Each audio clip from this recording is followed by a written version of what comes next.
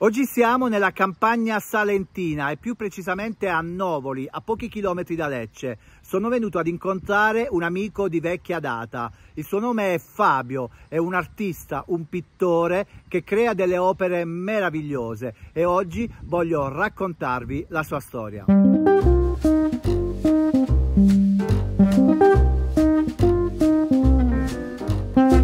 Adesso entriamo e vi faccio conoscere Fabio. Fabio, siamo pronti? Sei pronto tu? Sì, io sono Hai pronto. di fare questa introduzione? L'ho finita, dai. Bene, allora, siamo qui. Questo è il tuo studio, il tuo laboratorio. Sì, diciamo, anche se poi è quasi tutta la casa che è diventata un laboratorio, però è qui dove lavoro in questo momento di più con la pittura. Bene, bene.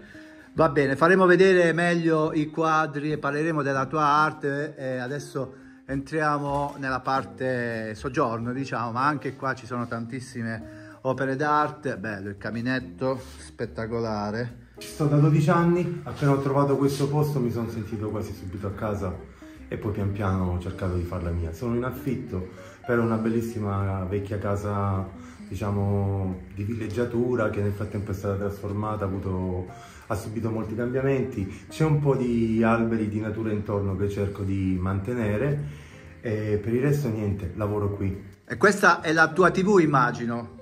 È la mia tv, è il mio riscaldamento per tutto l'inverno, è il posto dove molte volte mi piace cucinare. Ti faccio vedere un po' di cose che sto facendo, che ho fatto. La casa è piena di lavori eh, di moltissimi differenti periodi. In cui sto facendo, sto utilizzando questa tecnica dell'acquarello, anche se è un po' mista perché uso anche della tempera bianca. Uh, I temi in questo momento sono, hanno a che fare molto con la primavera che sta arrivando che tutti stiamo aspettando, che già in qualche modo cova dentro questo inverno nel cuore della terra. E quindi è più o meno il tema che sto utilizzando. Qui, come puoi vedere, ce ne sono altri. Io lavoro molto, non a ripetizione, però quasi ad accumulo. È come tutto un viaggio che io sto facendo mh, da un certo disegno da cui sono partito e poi continuo e nel frattempo scopro o aggiungo delle cose. Mi ritrovo ad essere molto più decorativo rispetto al passato e questa cosa mi sta prendendo un sacco. Su dei costumi, su, su dei disegni, delle, degli ornamenti, mm, che potrebbe essere una cosa superficiale, in realtà io non sono mai andato così a fondo Mm, nel curare un po' i dettagli dei vestiti o del paesaggio intorno così, ero molto, meno, ero molto più scarno. Um, o comunque anche altri bello. dettagli nel paesaggio. Molto bello. I colori stanno diventando sempre più mm, psichedelici, direi. anche questo sembra quasi che lei abbia una fiammella, in realtà è un fiore, è il primo fiore della primavera e sembra che lei quasi lo stia chiamando con tutta se stessa. Questi, ad esempio, sono partiti da questo punto. Questo è il primo che ho iniziato a fare, diciamo, un mesetto e mezzo fa. E da qui poi pian piano mi sono spostato, questo era un tema già ricorrente, l'anno scorso ho fatto una mostra in cui c'erano dei lavori con, con questo tema, l'uccellino che è sempre molto presente nei miei lavori. Da qui ho cominciato a spostarmi sempre sulla, per un lavoro sul viso, sui volti, su dei ritratti e stavo cercando altro e quindi anche la screpolatura di questo volto perché ho cominciato a lavorare anche con delle spugne, con delle cose quando si imbeveva troppo il lavoro. E, e niente, poi pian piano sono arrivato ad aggiungere dei dettagli, qui come si può vedere c'è un'arancia in qualche modo a che fare anche, metto delle piccole Mm, delle mh, mm, piccole suggestioni, de, come mh, mm, dei riferimenti a qualcosa che c'è in questo momento. Può essere una luna crescente nel cielo, un frutto di questa stagione, un fiore che tra magari un po' dovrà sbocciare. E, e quindi niente, poi pian piano siamo arrivati a questo.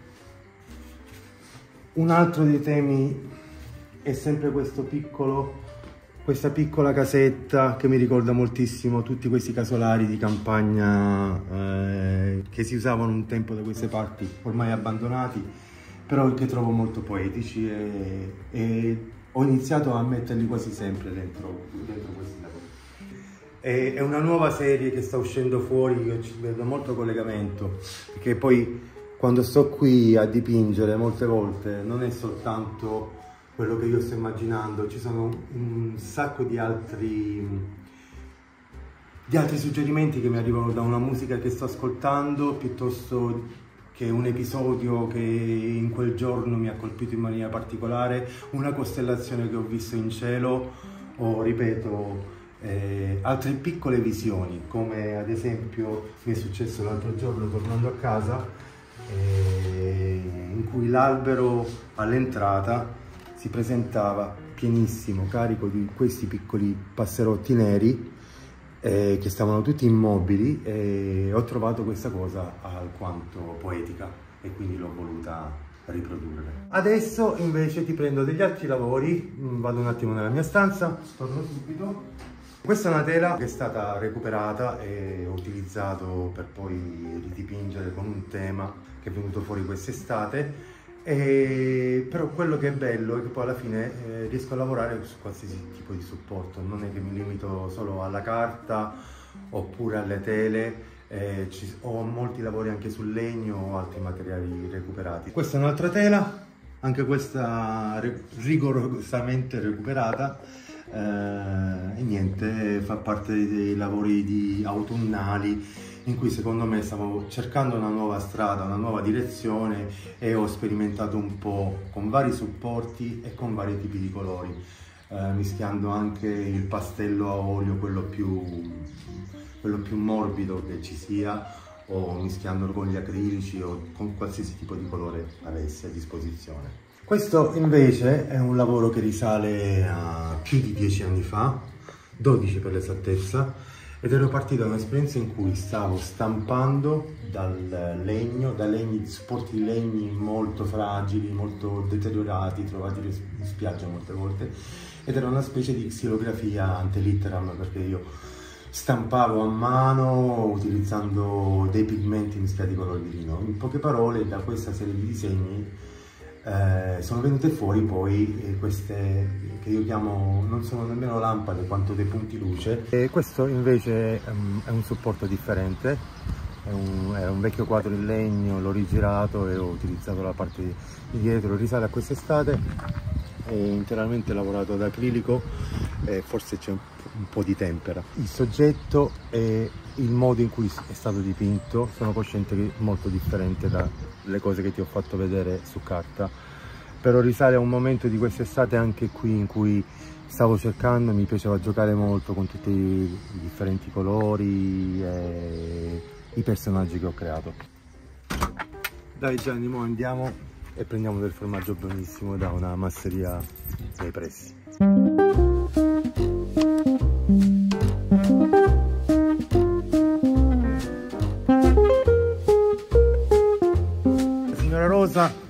Bravissima con tutti i latticini. Ricotte, ricottine. Pro, Ah, grazie. E questo è di pecore e di capra mischiato. Questo è verde. Mm. Allora? La fine del mondo. Quello vuoi?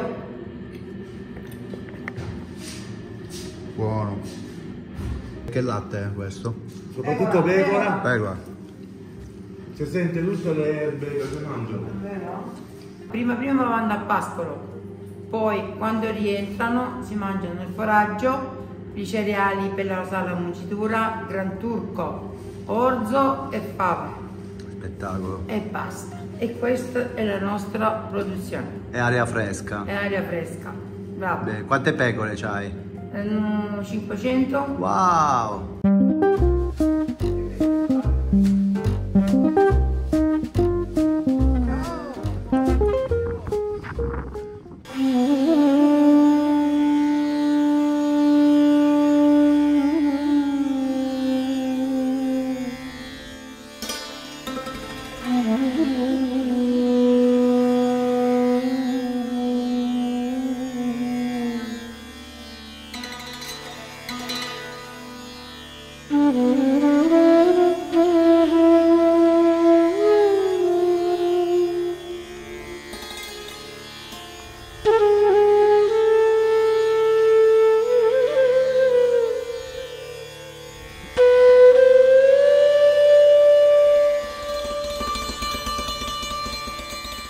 Varie volte ho anche smesso di dipingere, anche per mesi. La maggior parte delle volte perché magari non stavo bene, ho avuto dei problemi di salute. Altre volte perché magari non trovavo lo stimolo più a varie vicissitudini. La volta in cui ho sentito l'importanza più di tutte le altre volte è stato proprio recentemente, quando due anni fa poi di nuovo non sono stato bene. E, ehm, il processo è stato abbastanza lungo, poi ho subito anche un intervento e, la, il recupero e tutto, ma la prima azione che ho fatto cosciente, che mi stessi in qualche modo aiutando, che mi stesse servendo, quando non potevo fare nient'altro, è stato prendere dei fogli e nuovo a usare, anzi per la prima volta a usare l'acquarello, che poi di tutte le tecniche è la più lieve, quella che maggiormente in quel momento potevo utilizzare. Anche sulla spinta di un mio carissimo amico che mi ha detto, mi ha chiesto in quell'occasione se riuscivo a fargli dei disegni per la copertina di un libro di poesia che stava pubblicando. Questo è stato una cosa incredibile. Mi ha dato una spinta, un'energia per ricominciare e per trovare dentro questa, che ormai è una pratica, quasi la, la, ragione di vivere, la ragione di continuare a, a credere anche nelle cose belle e tutto quanto. Ci siete tutti?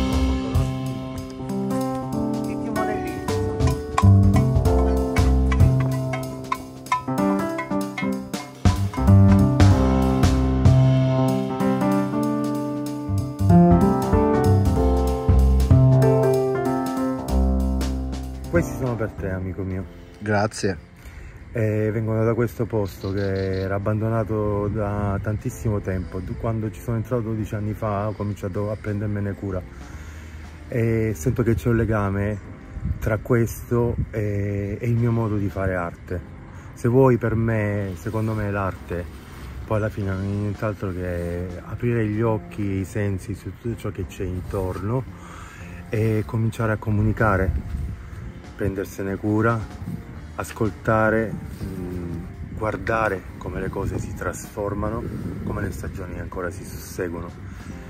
E credo che c'è un nesso profondo, non, non sono ancora arrivato a capire tutte, tutte le leggi di questo nesso, però continuo a lavorare per cercare e lo faccio con gli alberi, lo faccio con l'uliveto lì dietro, con questi agrumi, eh, con i gatti che hai visto, con qualsiasi essere poi entri, entri nella mia vita in qualche modo e ha a che fare qualcosa con me.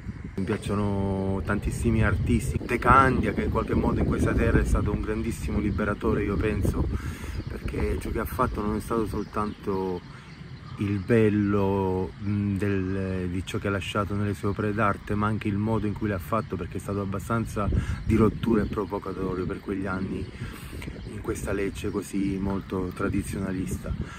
Però alla fine, come dicevo, penso che uno dei più grandi per me è, sia Van Gogh, perché comunque in qualche modo è legato a questo modo di vedere il paesaggio come non, se non fosse più semplicemente un, un, posto bello di campagna o di natura o quello che è, ma un modo di sentire un essere eh, che respira, eh, fatto di tantissimi altri esseri più piccoli che insieme collaborano e, e questo si vede, si sente dentro le sue tele tantissimo, per cui se proprio vogliamo eh, Ciò che mi piace poi alla fine è il sentimento dentro la pittura, ciò che cerco è il sentimento, ciò che vorrei comunicare è uno stato d'animo che a volte eh, può portare a una più estrema comunicazione con la persona, col fruitore diciamo dell'opera stessa.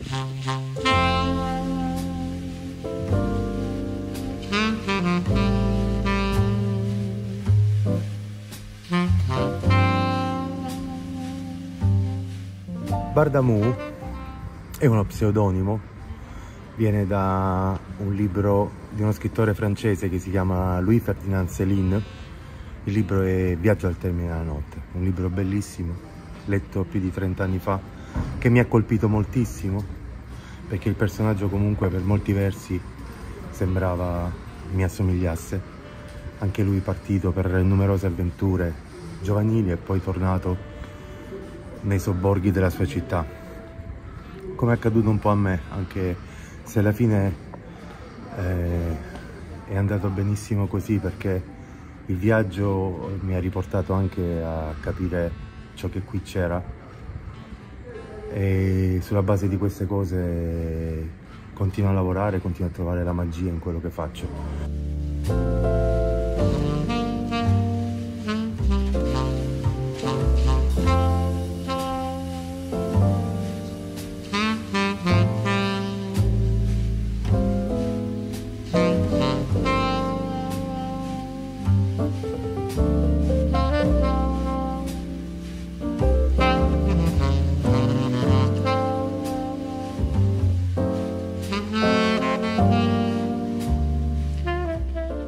Bene, e questa era la storia di Fabio Inglese Bardamu e della sua arte. Fabio, se qualcuno vuole contattarti, magari interessato ai tuoi lavori, dove può trovarti?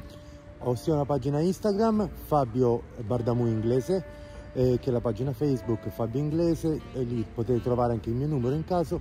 Vi ringrazio molto a tutti, ringrazio Gianni per avermi dato questa opportunità e un saluto, abbraccio da Lecce. Spero che questo video vi sia piaciuto, non dimenticate di iscrivervi al canale, di cliccare sulla campanella e ci vediamo al prossimo video. Ciao ciao! Ciao!